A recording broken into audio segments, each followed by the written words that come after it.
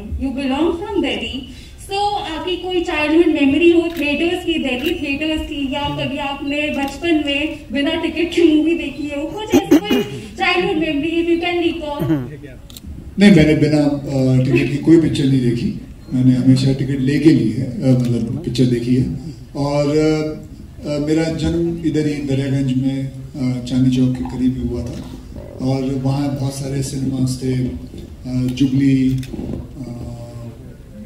Golcha delight बहुत सारी fill, फ़िल्में देखी है वहाँ। मुझे अभी भी याद है कि ब्लैक में टिकट लेके मैंने फ़िल्म देखी थी अमर अकबर एंथनी बहुत बारिश पड़ रही थी तभी।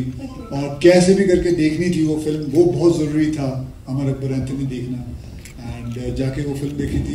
वो मैंने टिकट नहीं मिली थी तो हम अम्बा में जाके देखी थी अम्बा सिनेमा तो बस वो याद है। अच्छी तरह वो है ना कोई कोई चीज़ें कोई कोई फ़िल्में याद रह जाती हैं कि कैसे मुश्किल से जाके फ़िल्म देखा तो वो एक फ़िल्म थी जो हमेशा याद रहेगी। Thank you